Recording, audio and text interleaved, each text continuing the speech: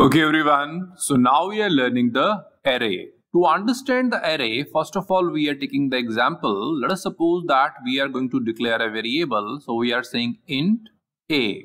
So that means one variable will be declared. So here we are having is the memory block which is into the memory. We assume that its name is a and let's say its address is 301. Now afterward, if I am assigning the value of a so I'm saying a is equal to let's say 7. So that means a is initialized with the value that is 7. Now afterward I want to store one more value. Let's say I am saying a is equal to 10. So what will happen? In that case the existing value of a will be replaced and that will be 10. That means at a time in a variable I can store only one value. So let us suppose that I want to store the 5 values. What will happen? In that case, I will be needing the five variables. So let's say A, then afterward B, C, D, E. So these numbers of variables are required. So we have to declare all these variables. These variables will be having some memory. Let's say here we are saying this is B, which is having 401. Then we are having is C, let's say 507. Then D, which is having the memory, let's say 609. Then further E, let's say it is having 702. So these are the addresses of this memory. Now afterward we can provide their value also. So let's say B I want some value let's say 1 so B will be initialized with 1. C will be having let's say 2 so C will be having the value 2. Then D let's say is having the value which is 9 so here D will be having the value 9 then E let's say the value is 12 so that 12 value will be stored into the E. So that means these are the five variables I require for storing the five values. If I has to store 100 values or 1000 values, do I need to take 1000 variables? No. So there is a provision provided by the C programming that is array. So with the help of array, we can take multiple values together. Or we can say that array store the homogeneous elements. Homogeneous means same type of elements. So here we can see that we are having all the integer type of element. The first one is the int a, then int b, int c, int d, int e. So these are the five variables of integer type which will take the integer elements. In that case, what we can do? We can simply say that int. So what that means, it is the integer data type. Then afterward, we are providing a single name that is a now inside that, we can provide how many elements we want. Let's say we want the five elements, so we'll simply provide five. So that means this is the declaration of array. By saying single line, we can take the array with the five blocks and where we can store the integer type because here we have declared the integer. So it is having the homogeneous elements means of same type.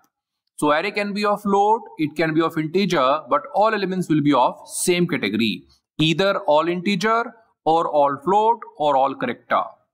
Next point about the array is that it store element into the successive memory location.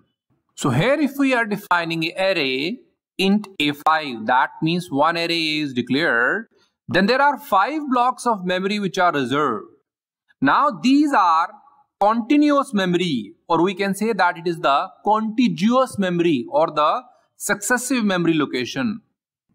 Contiguous memory means sequence wise. So here let us suppose that the first block of A we are having is the address that is 300. We know that there are various data types and these data types take some space in the memory. So that means how much byte they consume. The first data type we are having is the char, which is the character. So for the character, we need one byte. Then we are having is the integer, that is int. Int take two bytes. Then afterward, we are having is the float. Float takes four byte. Then afterward, we are having is the long. Long also take four byte. And then we are having is double. Double take eight byte. Depending upon the compiler, if you are using some advanced compiler, then maybe these bytes change. Maybe integer can consume 4 byte. So that depend upon your compiler. But as per the basic compiler, they are taking these much of byte.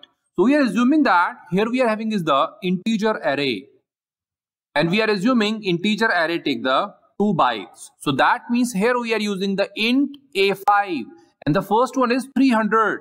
So successive memory location or the contiguous memory location or the sequential memory location says that 300 plus 2 means the next block address will be 302. Then again plus 2 that will be 304. Then again plus 2 that will be 306. Again plus 2 that will be 308. So that means all the blocks will be in sequence. That is called contiguous memory.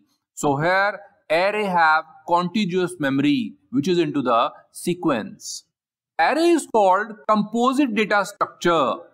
Composite means it can store more than one elements. We know that whenever we are saying that int, then afterward we are writing a5.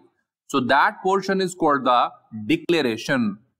Then afterward we can provide the values to the array. Let's say we are saying equal to so curly bracket start, we are saying let's say 10, 20, 30, 40 and 50 because there are five elements. So I am providing the five elements here. So this is called the initialization of array. Whenever we are providing the value to array that is called initialization. So here at the consecutive location these values will be stored. So here first block has 10 then 20, 30, 40 and 50. So all these elements will be stored here. Array elements can be accessed randomly by using the indices. As we know that array is on the consecutive memory location means into the sequence, that's why we start the array with 0 and continuous 1, 2, 3, 4. So these 0, 1, 2, 3 and 4 are the index. By the help of index, we can access the array randomly. Let us suppose that I want to print the second index element. So let us suppose the element is 30. I want to print it. So what I will do? Here is the name of array that is A. And what is the index? Index is 2. So simply we are going to write statement which is printf means printing on the screen. Then double quote start percentage d for the integer value, comma, here we are providing a2. Now, a is the array name, 2 is the index. So, by this, the output will be 30, means the answer will be 30. This is how we can access the random element from the array. So, here we have learned about the array that array store homogeneous element, the elements which are of same data type. So, here we can see that array A is declared of integer means all the elements 10, 20, 30, 40, 50 they will be of integer. If you are going to store just like some double let's say 10.1 that is wrong. If you are storing a character let's say A that is wrong. So for that you should be having the float array or the character array. So all the elements will be of same type. Second one, it store elements into the successive memory allocation Successive memory is also called contiguous memory or continuous memory or the sequential memory. Here we can see that we are using the integer. An integer we are assuming is having the 2 byte. So every element will be of 2 byte. So 10 will be of 2 byte, 20, 30. So every element will contain 2 bytes.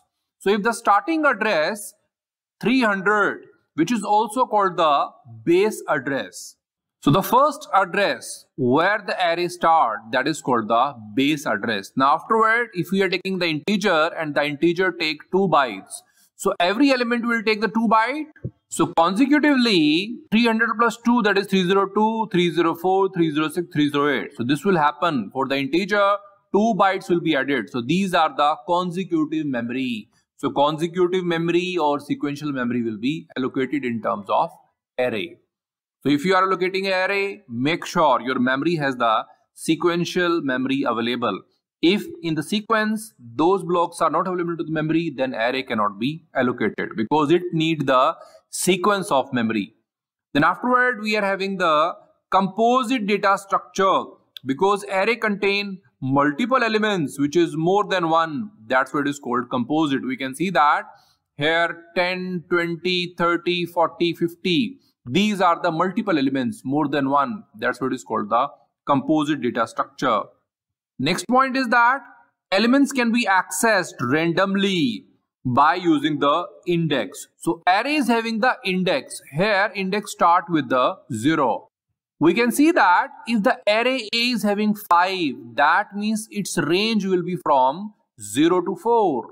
The range is 0 to 4. This signify that index will start from 0, then 1, 2, 3 and 4. So these are the index. If you want to access any of the elements, let's say you want to access the 50 here, then you should know that the name of array is A and index is 4. So simply by saying A4, you can access its value. So the value we know that is 50. So this is how we have learned the basic things of array. Now we are learning the array terminology. Now we are learning the array terminology in which we are having is the size, base, range, type, index and word. So first of all, we are learning what is the size.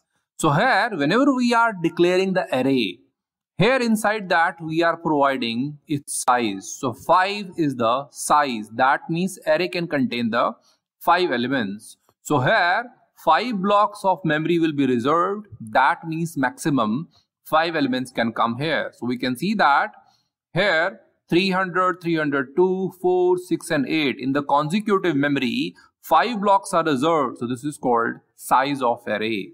That means maximum five elements can come. Then afterward we are having is the type, means which type of array is there.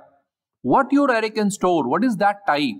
So here we know that all the elements, just like 10, 20, 30, 40 and 50, these are of integer. Why? Because the type of array we have declared is the integer. So here int is the type. That means it is the data type of array, which type of element it can store. So type can be integer, float, character, depending upon your declaration. Then the next one is the base.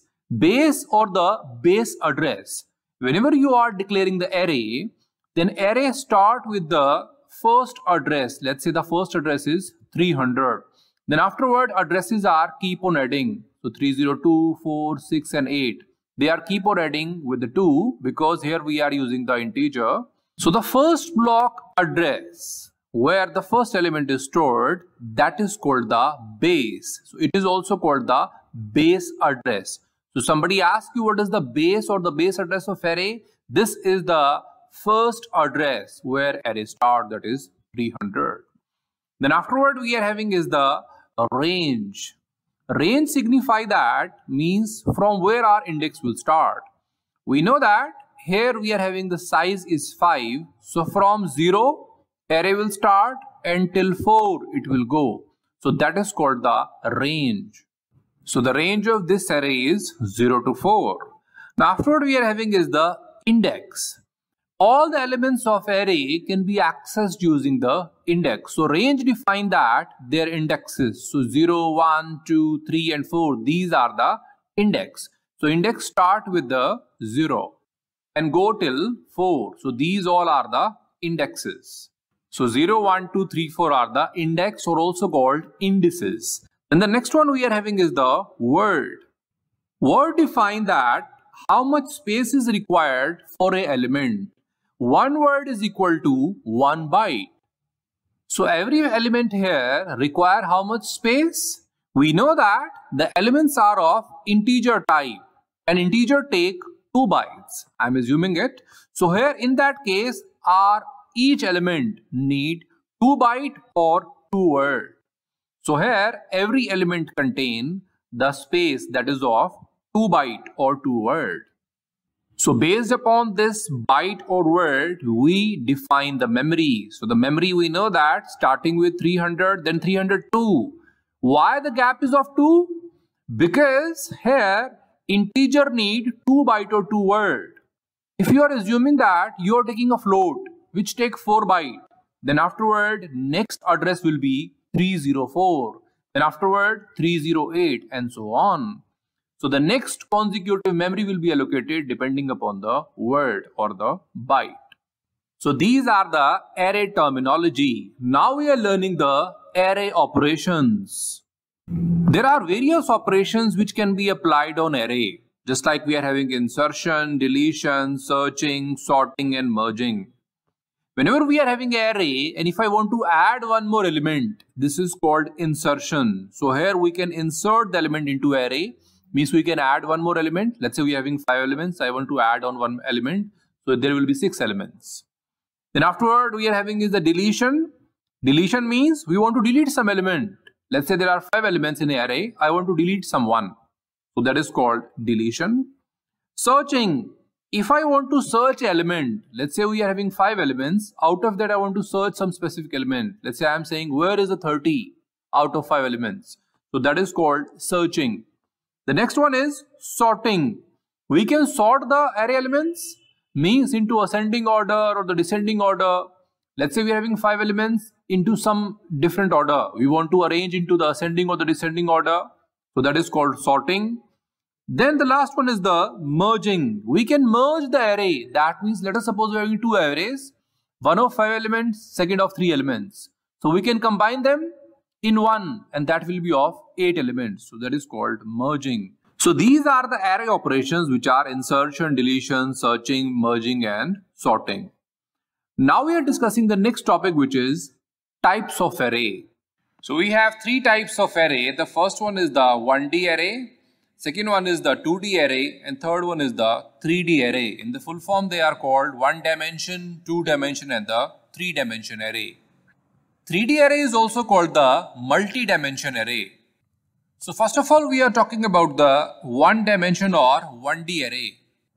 We know that whenever we are going to declare an array and we are saying let's say int then afterward we are saying a and we are providing let's say 3 that means the size of array is 3 this is the one dimension array so here in the memory there will be three blocks that will be reserved and they will be having the name of array that is a and they can be having some address in the sequential order and we are assuming that their index value start from 0 and going till 2 so 0 1 and 2 so this is the index values so this is the one dimension array which is into the continuous just like a single 1D array. So there we are having is the straight line. Then afterward we are having is the two dimension array. Let us suppose we are saying int that is the integer. Then afterward we are writing a which is the name of array. Then afterward 2. Then afterward 3. So there are two brackets available here. That's why they are called the two dimension array. So here first bracket signify row. That means here we are having two rows. So we are representing the row with the index value 0 and 1. So these are the rows. Then afterward we are having second bracket which signify column. That means there are three columns. So they start with the index value 0. So 0, 1 and 2. So these are the index values. So here this is how we are having is the two dimension array. This is just like the Excel sheet or a table. So this is called two dimension or 2D array. Then afterward we are having is the three dimension array, 3D array or the multi-dimension array. So let us suppose that here we are providing three brackets. We are saying int a. Then afterward let's say we are saying 2. Then afterward 3. Then afterward again 2. So this is how, this is the three dimension array because here we are having is the three brackets. So here the first bracket stands for the row. So there are two rows. We know that we are representing the row with the R. So here 0 and 1 these are the two rows. Just like in the example of 2D array we was having the two rows. So here 0 represent the first row and 1 represent the second row. Similarly here we are having is the first row and second row. So 0 and 1 are the index values. Then the second one we are having is the column. So here 3 means 3 columns. So here we are representing C for the column. So here we know that there is 0, 1 and 2. So there are 3 columns. Just like we are having the 2D array in which we have represented 3 columns. So here 0 is the one column, then 1 is the another column and 2 is the another column. Similarly here we are having is the 0 as the first column, 1 as the second and 2 as the third column. In the 3D array, we are having third block, which we are representing that, let's say it is the Z. So this is the third axis, which is having the value that is 2. So I am representing that it is having the value that is 2. So that means 0 and 1. So here, these two will be there to the Z axis. Means the 2D will be repeating two times. So here, one time we are repeating with the value which is 0 then again, second time we are repeating the 2D. So here this is how we are having the z axis or we can say that this is the third axis. The important thing to note here is that in the one dimension we are having only one bracket and only one dimension means only in one way there will be the array. It can be into the column or the row. So here it will be only single array, 1D array. So the 1D array can be single like this. That means it is a horizontal array or it can be a vertical array. So this is a single array which will be having only three values. In this case, we are having let's say A. So its index value is 0, 1 and 2. And we can represent the array like this also which is 0, 1 and 2. So both way it is possible but yeah it will be having only one value. So this is the 1D array. Then afterward we are having is the 2D array where we are having is the two blocks. That means two axes. So here row and column we are representing. You can also take x and y axis if you want. So this is the table or it can be the Excel file or it can be the 2D array. All are the same thing. Then after what we are having is the three dimension array which is also called multi-dimension array. In the multi-dimension array, we are having the three blocks. So 1, 2 and 3. This can be x, y and z axis or you can take as just like row column or z axis, totally up to you. It will be having three blocks. That means it is working into the three dimension. Above that, practically it is not possible. You can say that 4D, 5D, 6D, everything is the multi-dimension array. But that is not practically possible. So that's why only 1D and 2D array are majorly possible into the programming. So that is all about the array.